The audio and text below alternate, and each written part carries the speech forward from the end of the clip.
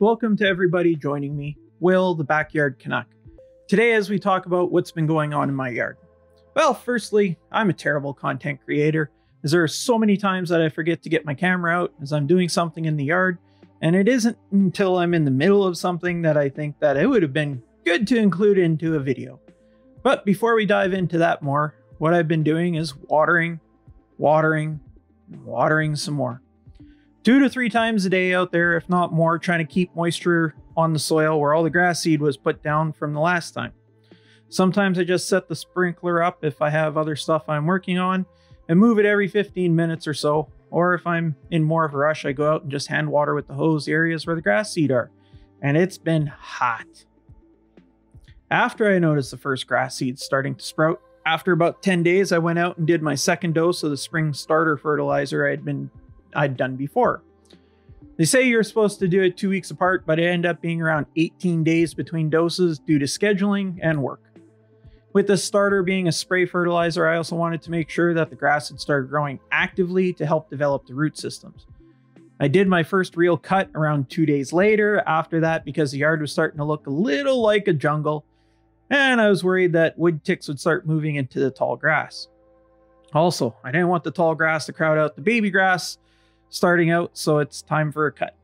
Now, this is the part where I am a terrible content creator, where I went and did all the trimming around the yard before I thought of pulling out the camera. As you can see, though, the lawn looks like a jungle. In a few select spots, the grass was almost 10 inches tall.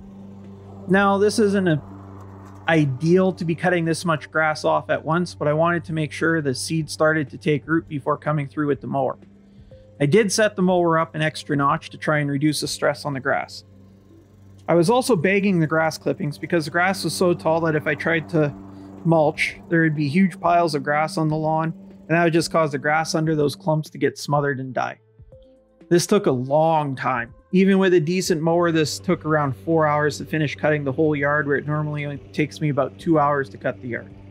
In the end, I had a mountain of yard waste bags and more neat looking lawn. This brings up a great point, though, that I want to share.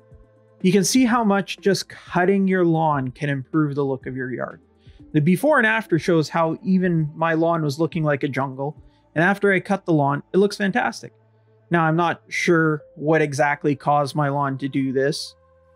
If it was the stuff done last year pre winter, the work in the spring, or just a starter fertilizer, or all the above, but my lawn has never greened up as fast as it did this year, and it was so thick and lush. There was a couple of days that I had no joke just laid in the lawn with my dog and my son playing with his cars. It isn't a perfect lawn. It isn't an award-winning lawn, but it was just so enjoyable to be to be on. Now it could have been better, but it was a trade-off I had to do. There are lots of seed stalks from the perennial ryegrass, perennial ryegrass, these stalks normally aren't as much of an issue if you keep on top of your mowing.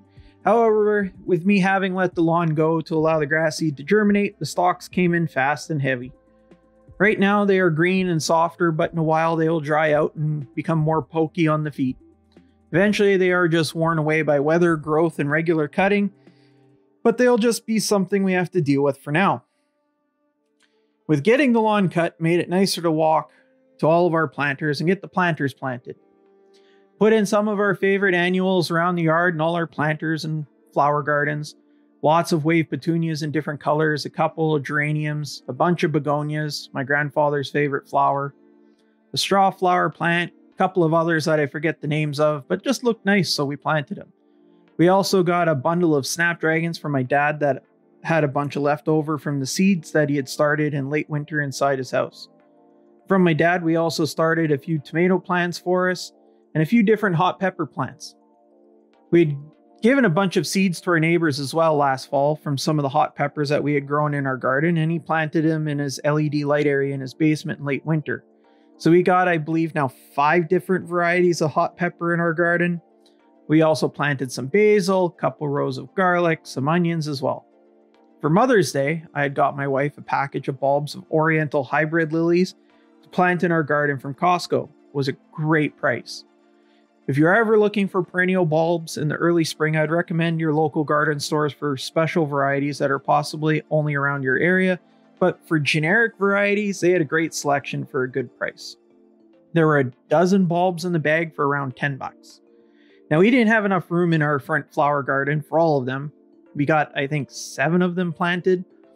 But my wife basically did a trade with a friend of ours, Monique, for a few cucumber plants that she had started from seed. Everyone was happy. Now, with our small garden boxes, we know that this isn't enough to survive off, but we enjoy the small joys of growing some nice flowers and some of our own food, and pass on a useful and fun skill to our kids. After I'd finished all the planting and cutting of the grass, I did notice that the weeds, especially the thistle, had started to creep into the edges of the lawn from the field again. So out came the sprayer.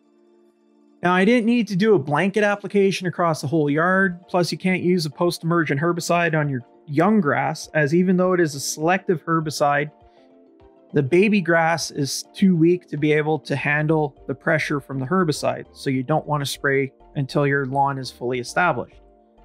So I got some Ortho Killex to try out and did a big spray along the areas where the thistle was coming in strong. In the rest of the yard, I did a quick spot spray on any weeds I saw starting to come through.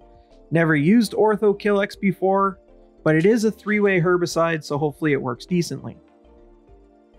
In the meantime, while waiting to see how the herbicide worked, I finished putting together my new barbecue. Found one that was almost the same as what I had before on sale and grabbed it while I could. Nothing crazy. I was more worried about keeping on budget and having enough room to grill for the family. This is a Grill Turismo by MasterChef. It is a four burner, 48,000 BTU, 650 square inches or 0.42 square meters for grilling area. It is a modern version of the one I had before that had lasted me almost 13 years. Hope this one lasts as long as the last one did. So far, it works good for me, but it's also brand new. Pretty much anything works brand new. Well, now that the grill is together, I'll get something going on the grill, can all crack a cold one, and enjoy this great time year. See you next time. Cheers.